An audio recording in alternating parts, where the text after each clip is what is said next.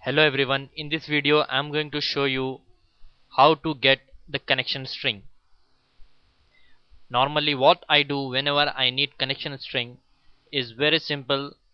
I drag and drop a table on the page and I'll simply delete the table and the data source. I'll save this and I'll go for web.config file where I should get the connection string so I got the connection string.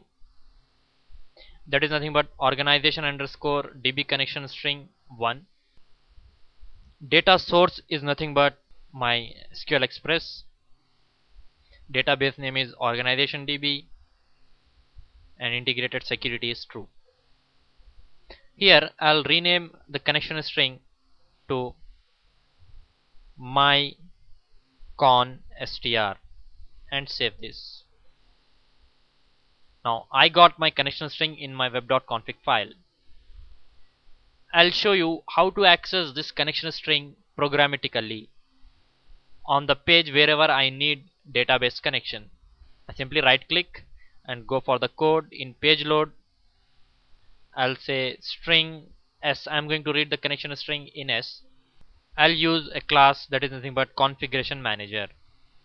I get this class from the namespace system.configuration. I'll say configuration manager dot connection strings of my con str dot to string. I'll simply say response dot write.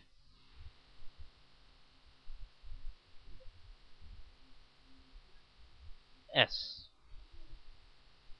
Save this and execute this so here I get the connection string. I can access this connection string wherever I want throughout the application. Now the advantage of keeping the connection string in web.config file is that I can change the connection string by keeping my web application running.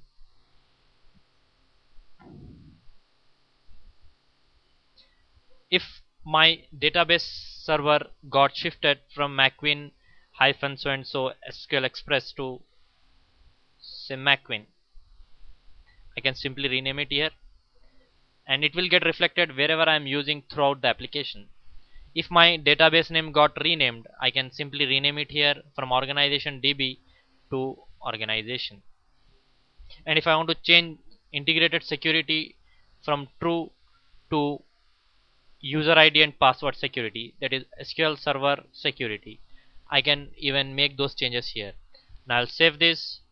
See that my application is still running. I simply refresh this. This should reflect the new changes. So this will get affected throughout the application wherever I have my connection string used. So this is very simple.